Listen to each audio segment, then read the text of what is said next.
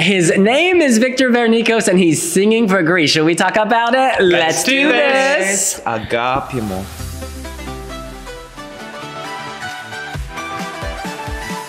Victor's song is What They Say, and it's time to hear what y'all have to say about his chances of qualifying from Semi Final 2.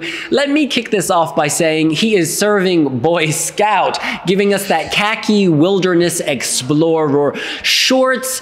Are those boots? Yes, boots, socks, ready for the wilderness. I think it's a really nice look. It's like age appropriate, like the teenager, like, you know, exploring. And in the song, he's exploring himself, you know, difficult times, what they say. He doesn't care. He's doing his thing. I like, I know y'all are gonna roll your eyes.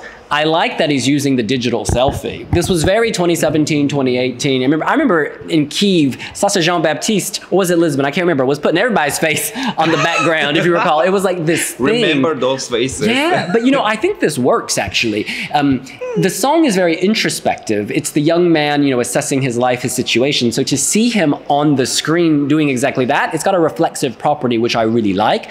I think the indie spirit of this song is actually really mainstream. I know that sounds like a contradiction, but it's very radio friendly. I think he's worked on his enunciation. In this clip, it was more audible. You could tell what he was saying. Whereas in the studio cut, honestly, it took me a few minutes to figure that out. So this is a vast improvement. Um, yeah, I, I just think they're striking the right balance between youthful, like, insouciance and kind of professional polish. And that can be very hard to do. And that's why I think the outfit was a smart choice. This, this leans youthful. Yeah, Oliver. I'm glad that you mentioned enunciation because my problem with this was diction pre rehearsals, and he clearly has worked on that. He's, Yeah. I think he's actually spoken openly about the changes that he wanted to make, which mm. I always really appreciate that people listen to feedback because, Yeah. of course, we're always coming at this from a perspective as we want an artist to do their best. We're not coming in with a critical eye to say, this is terrible, this is terrible. We're saying, this could be better. And when an artist actually engages with a fan community or however we view ourselves, you know, that's really good to see. Um, yeah, the fashion is interesting. I actually think it looks a little bit like a Zara catalog. Like, you know, with, with him all on the back, it looks like you're flicking through the pages of, you know, Zara kids Yeah. catalog. Um, no, but it, it actually is really fashionable. A little bit Steve Irwin, Robert Irwin, I think. L- You know, Outback, um, kind of desert, jungle, camo kind of feeling. And yeah, I'm, I'm enjoying the stage presence that he's bringing for somebody so young to be able to move around the stage with such confidence and still nail the vocals. Very, very impressive. I also think, you know, well, actually, I'm going to make this comparison because he's the second semi finalist in semi final two to be wearing shorts Yeah. after Theodor Andrei.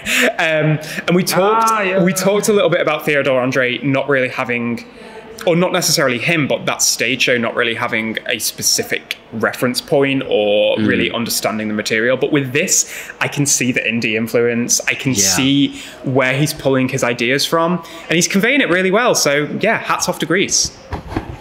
Nice, nice, nice. You know that backdrop with him, you know, with himself. That self. Well, this until you know, until his chest or his head actually. I like it. I like it really much. But when we see like three or four of him, you know, with the full body, I don't know what's the idea behind that. I, I really want to know that because it I don't like it that much. But I love the outfit very much. It gives me Angelina Jolie, Jolie in Tomb Raider, you know that game. Tomb Raider. Tomb Raider. Tomb Raider, sorry. Oh, in Bulgarian, it's Tomb Raider. I'm so sorry. Or Jumanji, Jumanji Yeah, with the, with yeah, the yeah. rock and stuff. Like he he's on an adventure in the Amazonia or something like that. And I love his movements here. Oh my gosh, there's a Yeah. part like he's like you know doing some dramatic movement and like very like very much Vigorous. vigorous, like furious, like speaking up. And we see like two or three like side stage props which are coming from the from the from the sky from the top i love them too i i really want to see the full performance I think this is going to look incredible. I'm just rewatching mm. it now, and the body in motion on the background. Again, it contributes to the explorer idea. You could you could read it as anxiety. You could read it as excitement. Go ahead. Dora the Ex- Explorer. he's dressed like an explorer Yeah. he's exploring his Exploring. emotions. Exactly. I, I, maybe that's reading into the metaphor a little bit, but as soon as Cinan said Tomb Raider, I was like, oh my god, I get it. Yeah. yeah, okay. No, I really like this. I think it's pared back. I think some, so often at Eurovision is, there can be a lot going on, which is one way to do well. But this fits the timbre of the song, the emotional timbre. And so, yeah, I'm I'm really pleased. And let's just go around quickly to wrap this video up. Do we think Greece is going through? I'm going to kick this off with a big fat yes. Obviously, Cyprus is here, so you've got them points. He's also half Danish, so Denmark will likely get behind this as well to mm-hmm. some extent.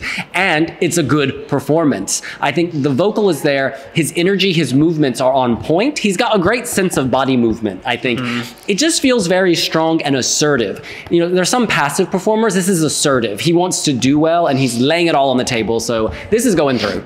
Yeah, going through, as you said, Cyprus, Denmark. I also think, you know, he's young. Young Yeah. people are going to kind of identify with hmm. the feelings that he's talking about. And yeah, he's a great vocalist. I see it going through. I'm not sure. I'm really not sure. You know, this is this is a televoting system right now. We don't have any juries. If we had juries, Well, that's good for Greece because that diaspora Yeah. is strong. yeah, that's well, 12 points maybe, or maybe not. But I don't know. I think Greece will struggle. I really think. Like, All right. I'm so sorry. That's okay. I also, you know, think um, he's going to have an impactful staging. You know, the whole package. You know, the song is not one of my favorites, but with the staging, you know, sometimes, well, often actually, you know, the whole the whole package changed into you know positive. You know. All right. Well, that's what we think. What do you think? Are you saying Kalispera to Greece and hello to Victor Vernicos in the grand final? Let us know here on Wiwibloggs. Come along to the Lush Lounge. Do we have Victor Vernicos coming? He has confirmed he will We be do. here. He will be here. So come along, get your selfie, watch him perform. We would love to meet you here in Liverpool. Subscribe to our YouTube channel, and we are everywhere in the social media platforms. And we have something here. Oh my gosh, what is it? And it, whether you speak Greek or English, you can read Wild Dances, My Queer and Curious Journey to Eurovision, out May 9th, the night of the first semifinal. Pre-order link in description. That's nice. Have you thought to uh, translate this book in the European translation language? rights are actually being discussed now, but we will discuss that later. we'll see you later. Bye.